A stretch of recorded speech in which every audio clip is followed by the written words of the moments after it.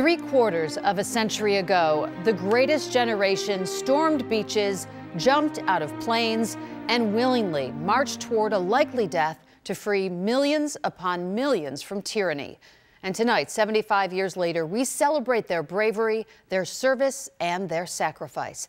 Good evening. I'm Maryalice Demler. And hello, everyone. I'm Scott Levin. All these decades later, we need to remember the bravery of the heroes of D Day because the debt that we owe them can never be repaid. And among the many ceremonies in the United States, there were 13 commemorating the men awarded the Medal of Honor during the Normandy campaign.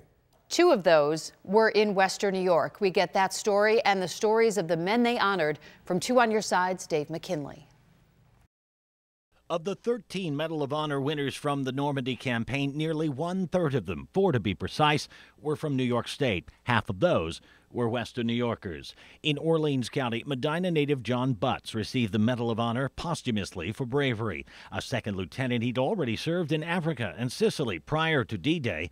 As troops moved into France following the invasion, he was wounded on June 14th, again on the 16th, and refusing medical aid a week later, led an attack on a stubbornly defended hill. Shot once again, he then directed others to flank a pillbox, while he alone made a frontal assault, drawing the fire to himself. He got within 10 yards of the enemy before he was finally and fatally cut down, but it allowed his comrades to take their objective. It was less than a month before his 22nd birthday. First buried in France, his remains were later reinterred at St. Mary's Cemetery in Medina. The better known story is that of Charles DeGlopper, and bells tolled at two Grand Island churches in his honor, even though at one of them, Trinity Church, the bell tower wasn't functioning, so a group of worshippers improvised.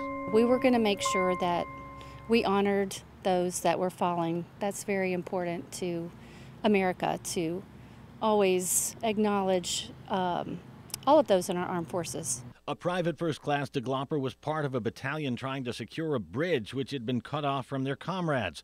As they were pinned down, he stood and began to fire in full view of the German defenders. Hit several times and bleeding profusely, he continued to fire his Browning automatic from his knees. And with the full attention of the enemy on him, it allowed the rest of his company to escape while at age 22 he sacrificed his own life. For his self sacrificial actions, DeGlopper posthumously received the Medal of Honor, the only member of the 82nd Airborne Division to be so honored in Normandy.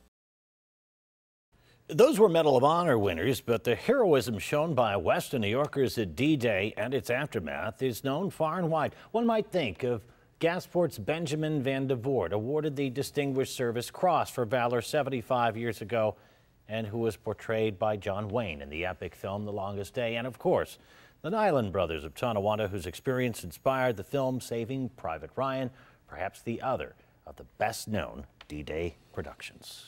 For many young people, they are just learning about D Day after seeing the ceremonies today. It's something that we have to remember because, just like we always hear, you're bound to relive it if we don't. Well, your chances of being asked, uh, asking a veteran of their personal experiences during World War II is uh, dwindling. Is short. Yeah, yeah it's dwindling. dwindling. Uh, I read uh, about nearly 400 World War II vets are going every day. Yeah. Uh, the average age is in the mid 90s now. Yeah. Right. Um, and those stories, and you know this as well Firsthand. as anyone. Yeah. That's right. Uh, it, it, you know, we're running out of time to hear the the firsthand. We saw so many on NBC this morning. It was just so moving to watch. That's right. Watch yeah, we're so grateful. As the daughter of a World War II veteran, mm. I heard those stories firsthand, and the world is grateful. And it was great today to see all of those special tributes, including yours. Thank you, Dave.